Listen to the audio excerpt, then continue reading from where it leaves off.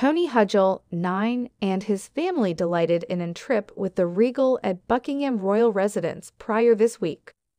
Ruler Camilla enjoyed a spot of tea with a youthful boy this week, after he previously missed a later engagement with the Regal. Final month, Tony Hudgell, 9, was incapable to go to a formal Cultivate party with his family due to activity. Stuck on M20 for final two hours, Tony's mother, Paula Hudgell, wrote on X, formerly Twitter, at the time, won't be making the King's Cultivate party. In reaction, an account for the Regal family said, Sorry to listen this, Tony.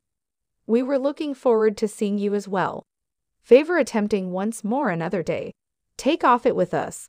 Not long after, on Wednesday, June 26, Tony, who could be a twofold amputee, and his family gone to the occasion facilitated by ruler Camilla, 76, where they were moreover joined by Lila O'Donovan, 12, and her family. Both kids and their families observed the changing of the Protect after arriving at Buckingham Royal Residence. Sometime recently, they joined Camilla within the Garden Summer House. They were afterward taken to the Regal Mews at Buckingham Royal Residence for a private visit. Amid the gathering, ruler Camilla displayed Tony with a British Domain Award, BEM, taking after his assignment within the 2024 unused year respects the child co founded the Tony Hudgell establishment. We were all amazingly honored to have been welcomed to Buckingham Royal Residence for evening tea with the ruler, an involvement we would never have envisioned of, Paula said of the energizing minute. Everybody was so kind and mindful and made us feel comfortable and loose. Tony chatted to the ruler, as in case they were ancient companions, and she was exquisite with him, and it was, an especially exceptionally pleased minute when the ruler gave Tummy his BEM, she included.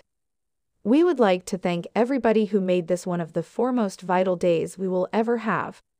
Layla, for her portion, has raised cash for debilitated children, whereas living with an uncommon brain tumor. She was granted the Uplifting Benefit Child of the Year by North Yorkshire Committee at their first ever Benefit Children's Grants last month. Everybody made us feel so comfortable and made me feel super uncommon. So thank you for this, Lila said of the minute with ruler Camilla.